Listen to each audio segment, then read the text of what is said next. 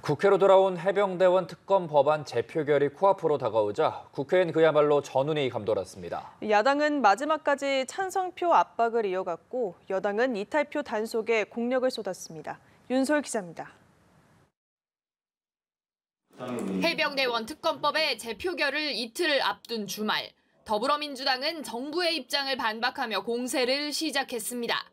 더불어민주당 해병대원 사망 사건 진상규명 TF는 법무부가 작성한 거부권 사유를 두고 설례와 처리 과정을 설명하고 나섰습니다.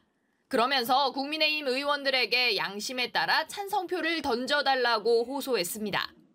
제가 만난 분들은 공개적으로 의사를 표명하신 분이 아닙니다. 여섯 분 중에 절반 정도가 심각하게 고민을 해보겠다라고 TF 소속 김규현 변호사도 간접적으로 찬성 의사를 밝혀온 국민의힘 의원이 있다고 덧붙이며 가세했습니다.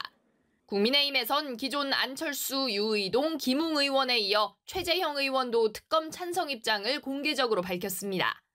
본회의 개최와 특검 법안 자체에 반대한다는 입장을 고수하는 여당은 이탈표 단속에 공을 들였습니다.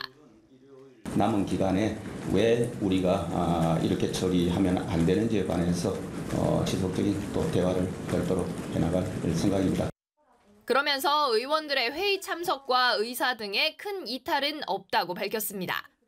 수사 외압의 핵심 쟁점으로 꼽히는 VIP 경로서를 놓고도 공방이 이어졌습니다.